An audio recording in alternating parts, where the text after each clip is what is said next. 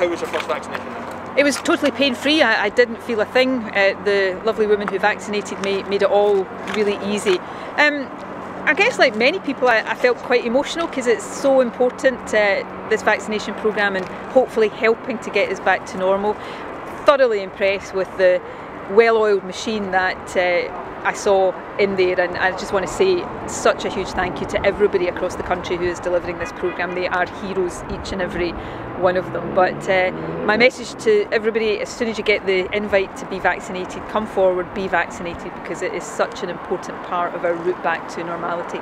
Vaccine was it that you got? I got AstraZeneca. Um, I decided I would take what I was given because nobody else gets to choose.